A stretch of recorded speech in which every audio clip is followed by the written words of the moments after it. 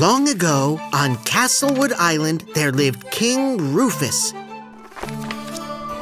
He was a friendly king who liked nothing more than to hold banquets, tournaments, and invite the community to join him. The king lived happily on the island with his eminent dog, Cosmo, for many years, and he loved Cosmo more than the jewels in his crown. Cosmo was the king's dearest and most loyal companion.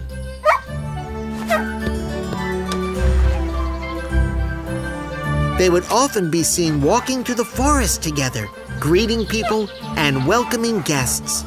But the jubilation didn't last. Little is known about this dark period in the king's reign, except for a note written by the king himself. It is with a heavy heart that I write this letter. Our world has fallen into chaos. I fear Cosmo and I have little protection against these marauding invaders.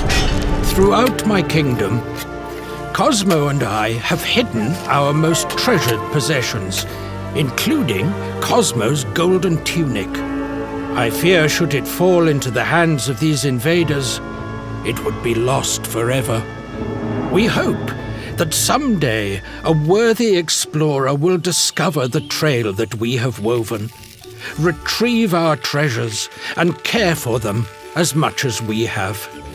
If you are the said explorer, I have prepared a journal for you and buried it in the forest. With the help of your trusted companion, you must go forth and find it. It will guide you around my kingdom and help you discover a map that I tore into many pieces.